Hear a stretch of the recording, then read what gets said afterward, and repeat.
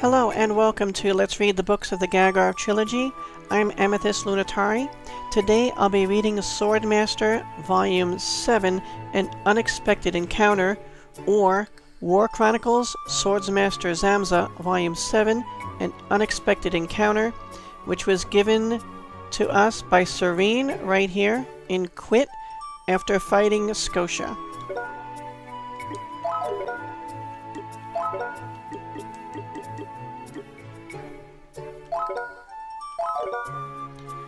War Chronicles Swordsmaster Zamza, Volume 7 An Unexpected Encounter.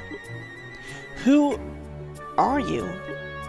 Zamza asked as he reached for his favorite sword and threw down the sheath.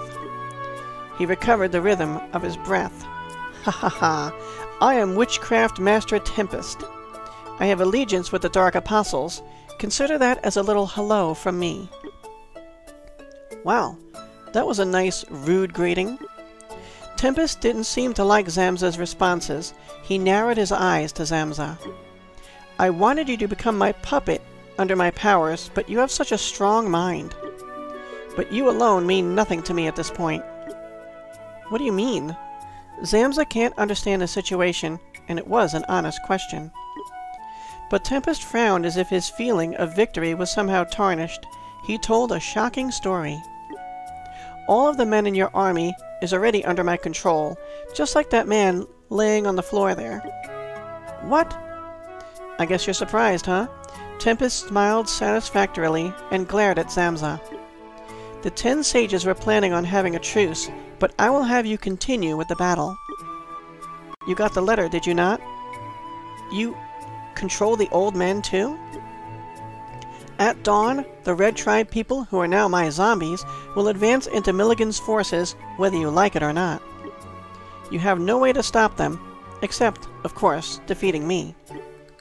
Before Tempest completed the sentence, a flash of metal sliced where he stood. Zamza had attacked. My, my, you look so calm, but such a hothead.